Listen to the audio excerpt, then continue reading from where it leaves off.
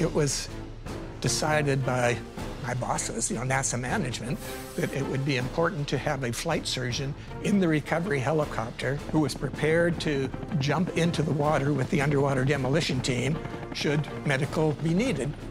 They were looking for someone who was willing to be able to do this. Yes, that is a job that I would want to do. I was told that these, these UDT guys you know, jump out of the helicopter, you know, at, at 40 feet in the air going 20 to 40 knots.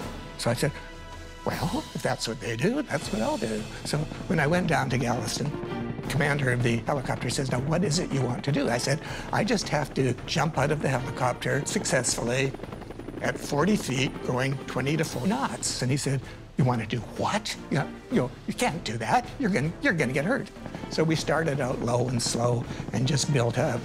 When I went out to the aircraft carrier and met the underwater demolition team, the officer said, have you jumped out of a helicopter before? And I said, yeah, I went out 40 feet going 20 to 40 knots. And he said, you did what?